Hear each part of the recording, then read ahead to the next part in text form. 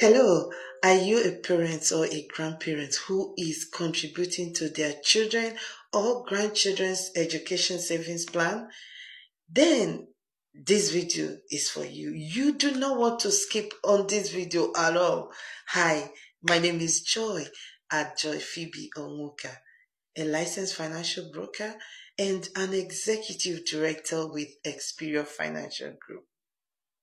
Today, I want to share with you the strategies I am using that have protected my children's RESP plan investment from market volatility whenever we make withdrawal to pay their tuition fee in the university.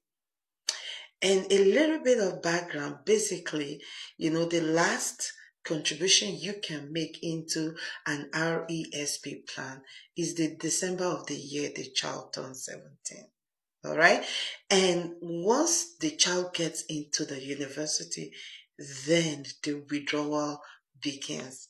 Now, the typical things and the steps and strategies that everybody knows and uses all up, up until now is when that time comes, you either go to your financial institution and fill out a form or a request form, or you put a request to your financial broker and your financial broker complete the form, send it to you for signature, and then send it into the financial institution. Or once that is done, the form goes in. And in that form, you have the opportunity to indicate which investment to liquidate and apply towards the tuition fee in that moment.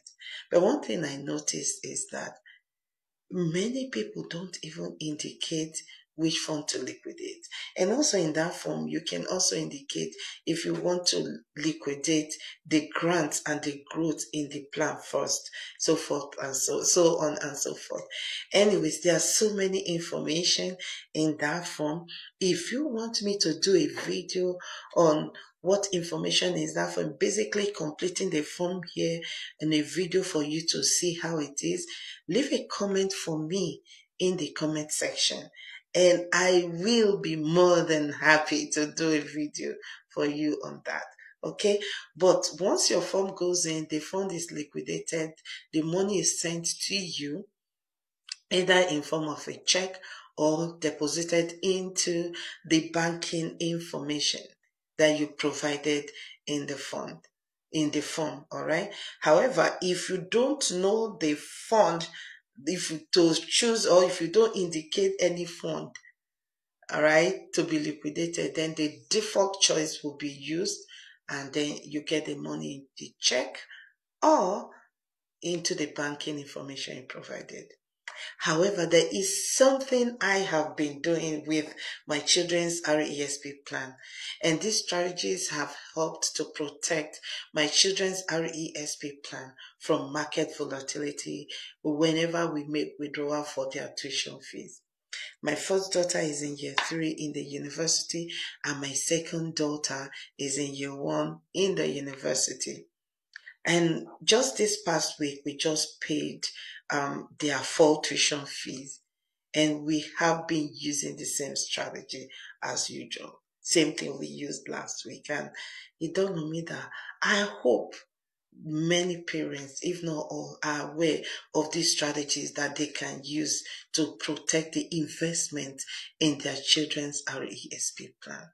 Okay, so I'm happy to share this with you, but you need to click on the link in my bio to schedule your free 30 minutes, no obligation Zoom meeting with me so we can review it together and then I get to show you and share with you these strategies. So go ahead now, click on the link below or the one in my bio. The link to my calendar is in my bio click it right now and my calendar is filling up very quickly so run now to schedule your 30 minutes no obligation zoom meeting and to say thank you for scheduling that meeting and to encourage you to show up for that meeting, you will receive a $300 hotel discount voucher that you can apply to any hotel's vacation location of your choice. All right. So thank you very much. I look forward to seeing you.